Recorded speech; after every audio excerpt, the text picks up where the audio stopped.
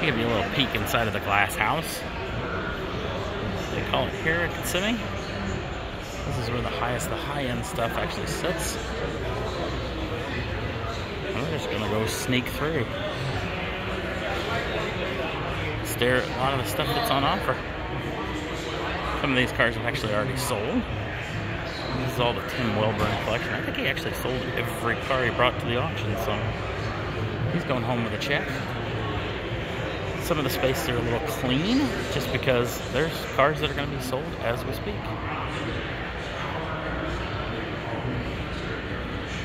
Every car, every shape, every kind imaginable is in this building.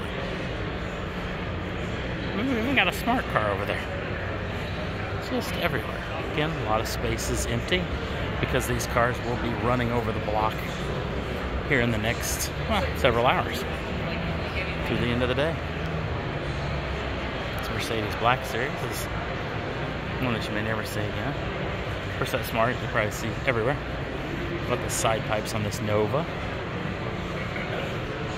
Got some Hemi cars, got some 911s, old air cool stuff. Of course, got Corvettes. Over 500 Corvettes are here.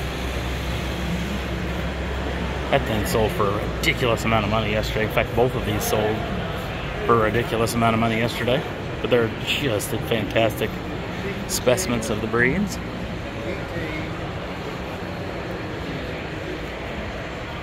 And we got absolutely everything here. We got old school hot rods. We've got car guy celebrities. Hell, there's Wayne Carini back there. We got Broncos.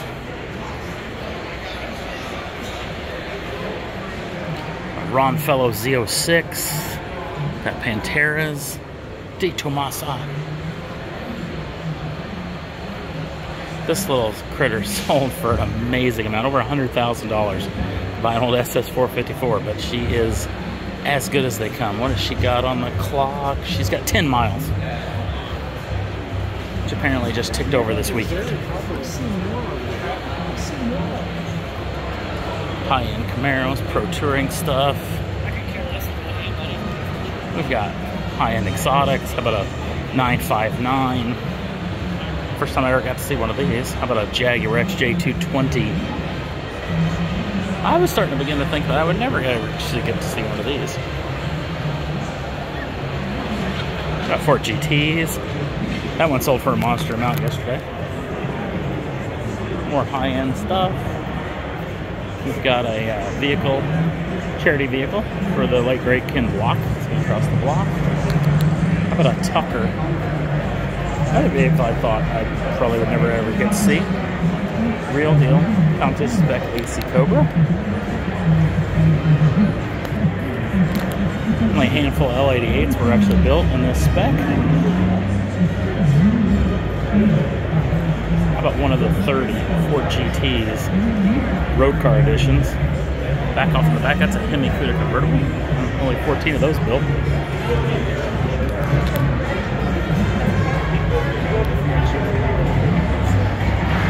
This is one of Kindig-It Designs, what, CF1 number 5 that was actually built. It's going across the block day of taping this program. People here in a minute. We got some of the unrestored, best of the breed Corvette stuff.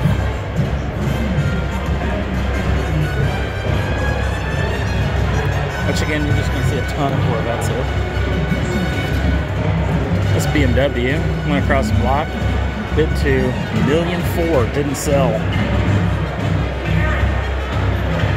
We've got Ferraris GT40s.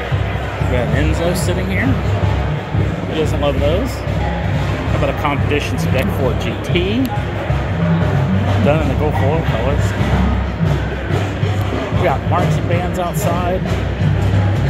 A party atmosphere. Hemi Cuda. Toro red with Toro red interior. Some of the best example Corvettes in the country be on offer here. Wander back to the end zone.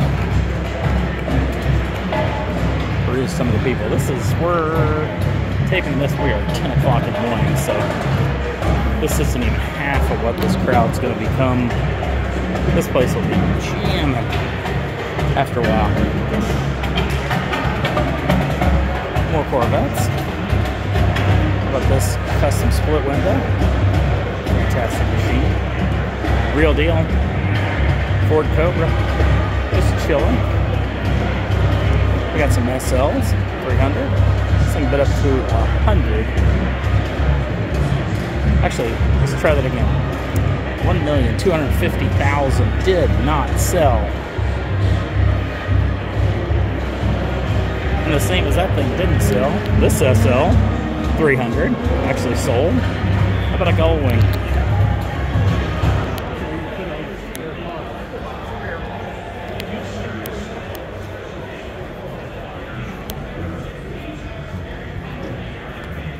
Seen a couple of those in my days.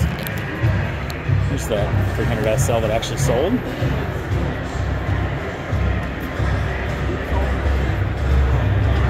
And this thing is just the most mint 427 Cobra you will probably ever see on the planet.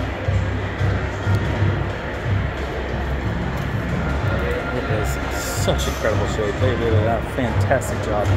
And this thing sold for big cash yesterday. Classic Corvette. That one's going to Kentucky. Some more Corvettes. As you do. Some of the best examples of just such a car. All the documentation you'd need to actually, if you wanted to buy one. We've got classic motorcycles, Harley Davidson's, Triumphs. It's just all here. And this is just one building. One tent, if you will, inside of Kissimmee. 2024. And it's just, uh, you're already starting to start, the crowd starting to really fill up. And it'll just be jamming here in about three, four hours. It's the place to be in early January.